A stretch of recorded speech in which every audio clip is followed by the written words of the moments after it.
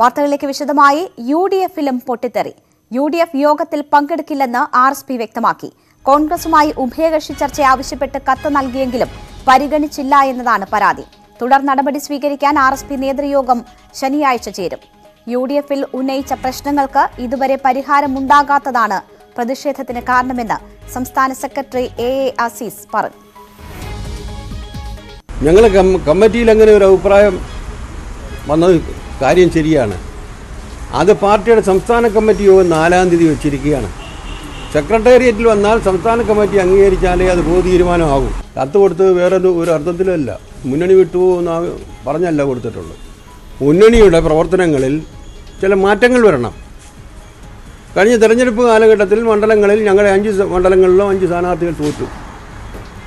തോൽക്കാനിടയായ ചില സാഹചര്യങ്ങളൊക്കെ ഞങ്ങൾ വിശദമായി പറഞ്ഞിട്ട് ചർച്ച ചെയ്യപ്പെടേണ്ടതാണ്.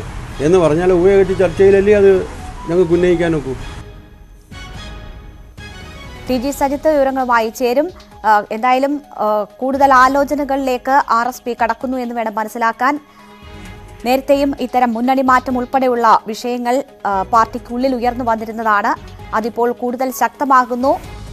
യു ഡി എഫ് യോഗത്തിൽ പങ്കെടുക്കേണ്ട എന്ന ഒരു തീരുമാനത്തിലേക്ക് ആർ എസ് പി എത്തിയിരിക്കുകയാണ്. കോൺഗ്രസുമായി ഉഭയകക്ഷി ചർച്ച ആവശ്യപ്പെട്ട് കത്ത് നൽകിയെങ്കിലും അത് പരിഗണിച്ചില്ല എന്നതാണ് ഇതിന് കാരണമായി അവർ ചൂണ്ടിക്കാട്ടുന്നത്.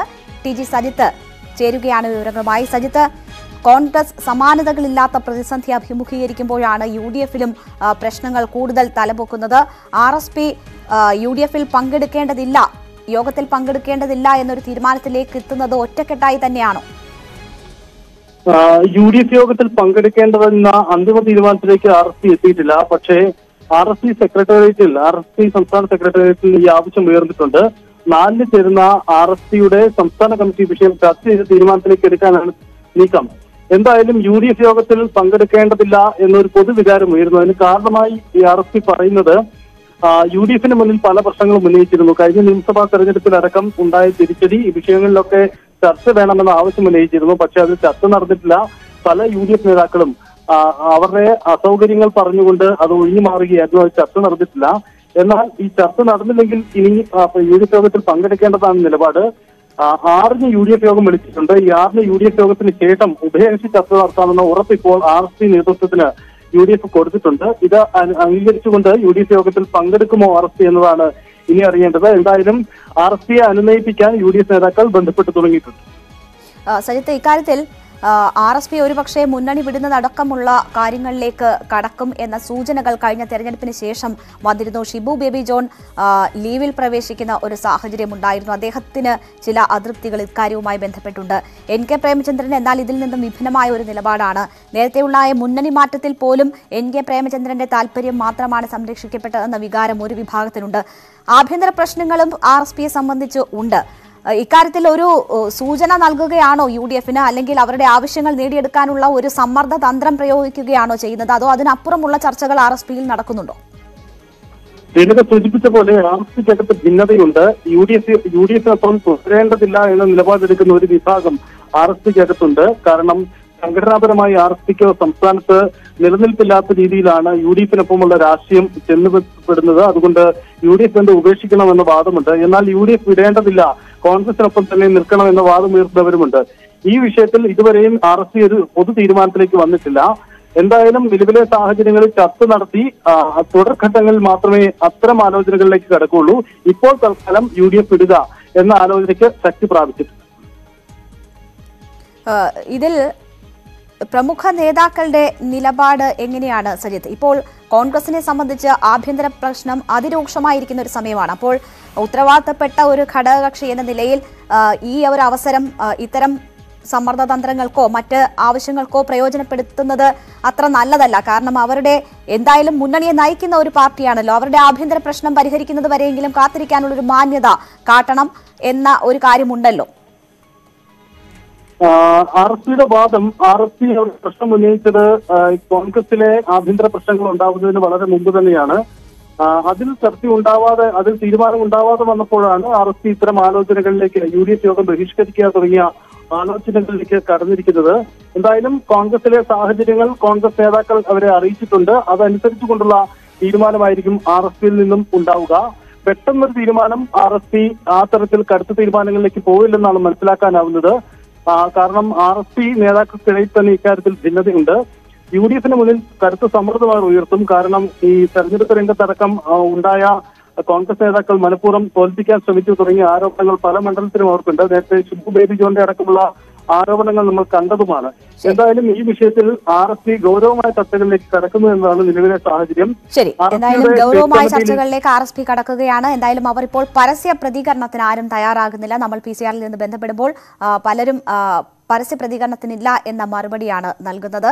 കൂടുതൽ അനുനയ ശ്രമങ്ങൾ കോൺഗ്രസിന്റെ ഭാഗത്തു നിന്നും ഉണ്ടാകുന്നുണ്ട്. അപ്പോൾ കാത്തിരുന്ന് മാത്രം പ്രതികരണം എന്ന നിലയിലേക്ക് ആർ എസ് പി എത്തുന്നു എന്ന് മനസ്സിലാക്കുന്നു. ടി ജി സജിത്താണ് വാർത്തയുടെ വിശദാംശങ്ങൾ നൽകിയത്.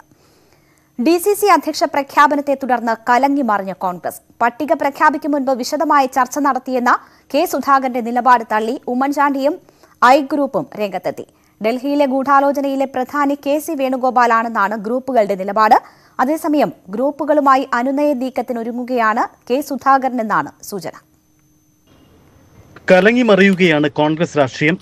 ഡി സി സി അധ്യക്ഷ പ്രഖ്യാപനത്തിന് മുമ്പ് ചർച്ച നടത്തിയില്ലെന്ന ആരോപണം ഉമ്മൻചാണ്ടി ആവർത്തിച്ചു. കൊടുത്തിട്ടില്ല.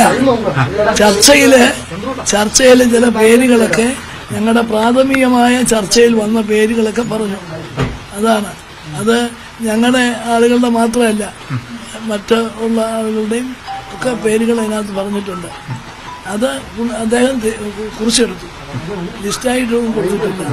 ഡയറി ഉയർത്തിക്കാട്ടി ഉമ്മൻചാണ്ടിക്ക് മറുപടി പറഞ്ഞ കെ സുധാകരന്റെ രീതിയോടും എ ഗ്രൂപ്പിന് കടുത്ത എതിർപ്പുണ്ട്. സമീപനത്തെ ആശ്രയിച്ചിരിക്കും. ചിലർക്ക് അത് ശരിയായിരിക്കും ചിലർക്ക് അത് തെറ്റായിരിക്കും.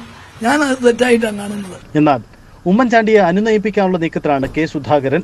താങ്കും തണലുമായി ഉമ്മൻചാണ്ടി എക്കാലവും ഉണ്ടാകുമെന്നാണ് തന്റെ ആഗ്രഹമെന്ന് സുധാകരൻ.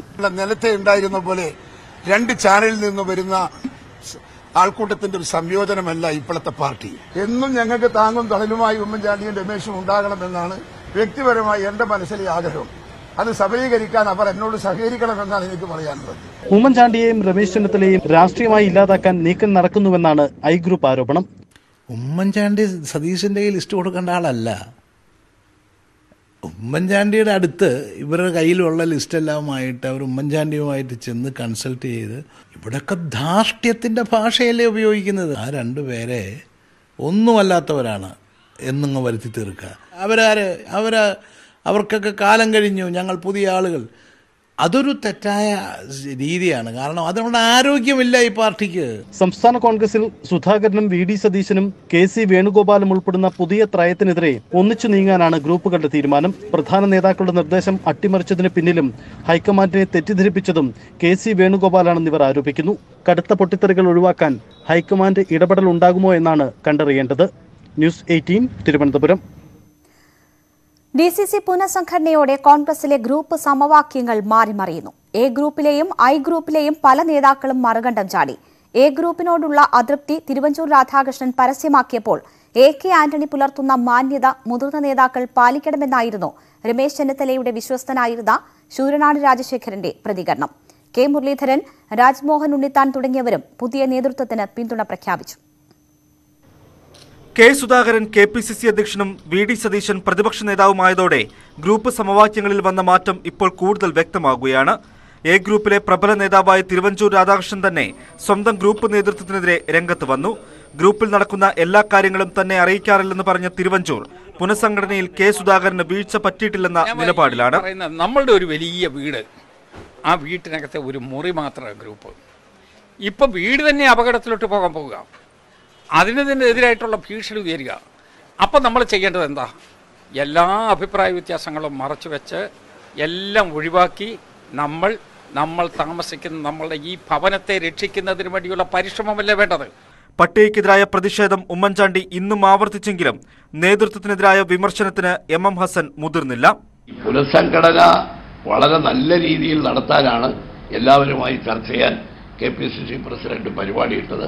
പ്രതിപക്ഷ നേതാവും കെ പി സി സി പ്രസിഡന്റും ഒരുമിച്ച് ചർച്ച ചെയ്തിട്ട് ഞങ്ങളെല്ലാം കണ്ടത്. ഐ ഗ്രൂപ്പുകാരനായ ശൂരനാട് രാജശേഖരൻ രമേശ് ചെന്നിത്തലയെ തള്ളി രംഗത്ത് വന്നു. കെ സുധാകരനും വി ഡി സതീശനും പ്രവർത്തിക്കാൻ അവസരം നൽകണം. രണ്ടായിരത്തി അഞ്ച് മുതൽ എ കെ ആന്റണി പുലർത്തിയ മാന്യത മുതിർന്ന നേതാക്കൾ പാലിക്കണമെന്ന കടുത്ത വിമർശനവും ശൂരനാട് നടത്തി. നിലവിലെ നേതൃത്വത്തിന് ഒപ്പമെന്ന് പ്രഖ്യാപിക്കുന്നതായിരുന്നു കെ മുരളീധരന്റെയും രാജ്മോഹൻ ഉണ്ണിത്താന്റെയും പ്രതികരണങ്ങൾ. പതിനെട്ട് വർഷക്കാലമായി തങ്ങളുടെ കയ്യിൽ നിന്ന് അധികാരം മറ്റാളിലേക്ക് വരുമ്പോൾ അതിലുള്ള അസഹിഷ്ണുതയാണ് അവർ പ്രകടിപ്പിക്കുന്നത്. അവരൊരു യാഥാർത്ഥ്യം ഉൾക്കൊള്ളണം. ഇന്ന് കേരളത്തിൽ പുതിയ കെ പി സി പ്രസിഡന്റ് വന്നിരിക്കുന്നു. കെ സുധാകരൻ പുതിയ പ്രതിപക്ഷ നേതാവ് വന്നിരിക്കുന്നു. ഇവരാരും ഓടിളക്കി വന്നതല്ല ഹൈക്കമാൻഡാണ് അവരെ നിയമിച്ചത്. പുതിയ തലമുറ വന്നിട്ട് ഓരോ മാറ്റങ്ങൾ ഓരോ ഘട്ടത്തിൽ ഉണ്ടാകുമ്പോൾ നമ്മൾ അതനുസരിച്ച് പ്രതികരിക്കുക അത്രയേ ഉള്ളൂ. സമവാക്യങ്ങൾ മാറി മറിഞ്ഞതോടെ കെ പി സി സി ഭാരവാഹി തെരഞ്ഞെടുപ്പിൽ ഇതെങ്ങനെ പ്രതിഫലിക്കുമെന്ന് കണ്ടറിയണം. News desk news eighteen. ഇടവേള.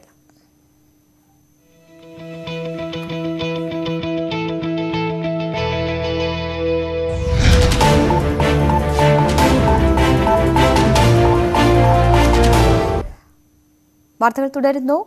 ഒടുവിൽ ഗോപിനാഥ് കോൺഗ്രസ് വിട്ടു.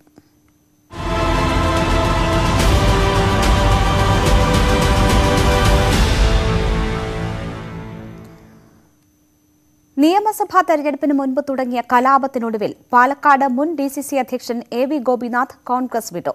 കോൺഗ്രസിന്റെ മുന്നോട്ടു പോക്കിന് തടസ്സക്കാരനായി നിൽക്കാനില്ലെന്ന് പറഞ്ഞാണ് പ്രാഥമിക അംഗത്വത്തിൽ നിന്നുള്ള രാജി. ഏത് പാർട്ടിയിലേക്ക് പോകണമെന്ന് തീരുമാനിച്ചിട്ടില്ലെന്ന് പറഞ്ഞ ഗോപിനാഥ് മുഖ്യമന്ത്രി പിണറായി വിജയനെ പുകഴ്ത്തി. എന്നാൽ A V Gopinath തിരിച്ചുവരുമെന്ന് K P C C president K Sudhakaran പ്രതികരിച്ചു. ഇന്ത്യൻ നാഷണൽ കോൺഗ്രസിന്റെ പ്രാഥമിക മെമ്പർ സ്ഥാനം രാജിവെച്ചതായി ഞാൻ ഇന്ന് പ്രഖ്യാപിച്ചു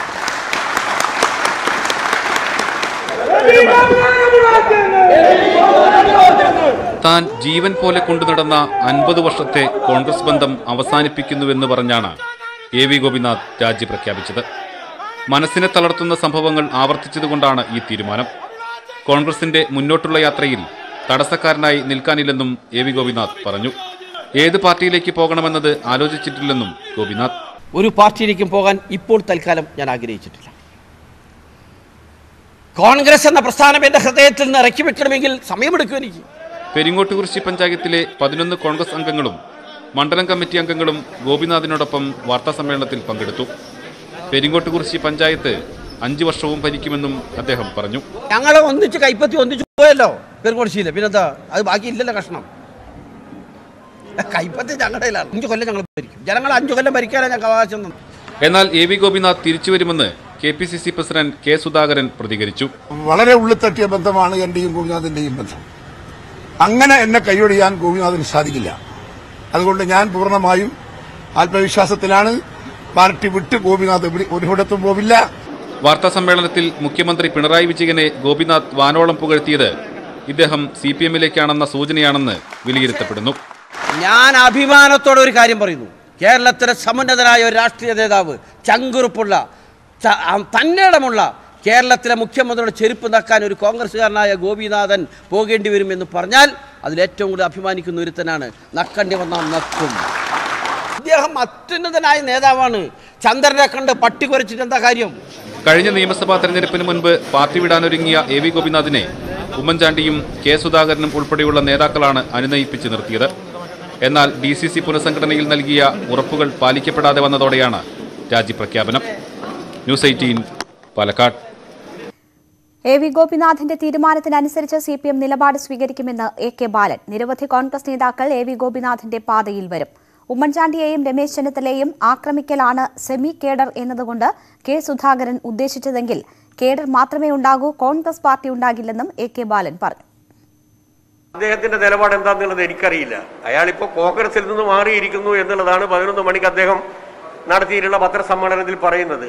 തുടർ നടപടി എന്താണ് അദ്ദേഹം സ്വീകരിക്കാൻ പോകുന്നത് എന്നുള്ളത് എനിക്കറിയില്ല. അങ്ങനെ ഒരു നയം അങ്ങനെ ഒരു സമീപനം അദ്ദേഹം സ്വീകരിച്ചു കഴിഞ്ഞാൽ സി പി എമ്മിന്റെയും ഇടതുപക്ഷത്തിന്റെയും അപ്പോൾ വ്യക്തമാകും. എ വി ഗോപിനാഥിനെ അതിരൂക്ഷമായി വിമർശിച്ച് മുൻ M L A Anil Akkara. ഒന്നുകിൽ രാജാവായി വാഴുക അല്ലെങ്കിൽ പിണറായിയുടെ വേലക്കാരനായി എച്ചിലെടുത്ത് കഴിയുക എന്നാണ് ഫേസ്ബുക്ക് പോസ്റ്റിൽ അനിൽ അക്കരയുടെ പരിഹാസം. പിന്നാലെ അനിൽ അക്കരയ്ക്ക് മറുപടിയുമായി എ വി ഗോപിനാഥ് രംഗത്ത് വന്നു. പിണറായി കേരളത്തിലെ ചങ്കുറപ്പുള്ള നേതാവാണ്. പിണറായിയുടെ ചെരുപ്പ് നക്കേണ്ടി വന്നാൽ നക്കും. തന്റെ ചെരുപ്പ് നക്കാൻ വന്നവരുടെ കൂട്ടത്തിൽ അനിലക്കരയും ഉണ്ടായേക്കാമെന്നും എ വി ഗോപിനാഥ് മറുപടി നൽകി. പാർട്ടിക്കകത്ത് നേട്ടങ്ങളുണ്ടാക്കാനും സമ്പത്ത് കൈവരിക്കാനും എച്ചിൽ നടക്കിയ ശീലം എ വി ഗോപിനാഥിന്റെ നിഘണ്ടുവിലുണ്ടായിട്ടില്ല എന്നെ കാണാനാണ് അയച്ചെങ്കിൽ അദ്ദേഹത്തിന് തെറ്റുപറ്റിയത് എന്റെ കയ്യിലില്ല. പിന്നെ ആ പറഞ്ഞ അഭിപ്രായത്തിൽ അദ്ദേഹത്തിനെ ഞാൻ അഭിനന്ദിക്കുകയാണ് കാരണം എന്റെ ചെരുപ്പ് തക്കാൻ വന്ന പല കൂട്ടത്തിലെ ആളുകളിൽ ചിലപ്പോൾ അദ്ദേഹം ഉണ്ടാവാം. അതെനിക്ക് അറിയില്ല കേട്ടോ. രാത്രിയാണ് വന്നത്. അദ്ദേഹം ശബരിമല അയ്യപ്പനൊന്നും അല്ലല്ലോ. അതല്ല ഗുരുവായൂരപ്പനല്ലല്ലോ അയാളുടെ അനുഗ്രഹം നേടാൻ. ഞാൻ എന്റെ വീട്ടിലെ വളർത്തുനായ എന്നെ അനുഗ്രഹിച്ചിട്ട് വല്ല കാര്യമുണ്ട്? അനിൽ അക്കരയുടെ പരാമർശത്തെ കെ പി സി സി അധ്യക്ഷൻ കെ സുധാകരൻ വിമർശിച്ചു. പറയാൻ പാടില്ലാത്തതാണ് അനിൽ അക്കര പറഞ്ഞതെന്നായിരുന്നു സുധാകരന്റെ പ്രതികരണം. അനിൽ അക്കരയുടെ പരാമർശത്തെ വി കെ ശ്രീകണ്ഠൻ എം പിയും തള്ളിപ്പറഞ്ഞു രാജ്യത്തെ എല്ലാവരും വാക്സിൻ എടുത്ത് കോവിഡിനെ പ്രതിരോധിക്കാൻ സജ്ജരാണെന്ന് ഉറപ്പാക്കാൻ നെറ്റ്വർക്ക് എയ്റ്റീനും പ്രതിജ്ഞാബദ്ധമാണ്. അതിനായുള്ള ബോധവൽക്കരണമാണ് ഫെഡറൽ ബാങ്കുമായി ചേർന്ന് നടത്തുന്ന Sanjeevani campaign. Health expert Apollo twenty four സെവനും ഈ ദൗത്യത്തിൽ പങ്കാളിയാകുന്നു. കൂടുതൽ വിവരങ്ങൾക്ക് money control dot com slash Sanjeevani എന്ന വെബ്സൈറ്റ് സന്ദർശിക്കുക.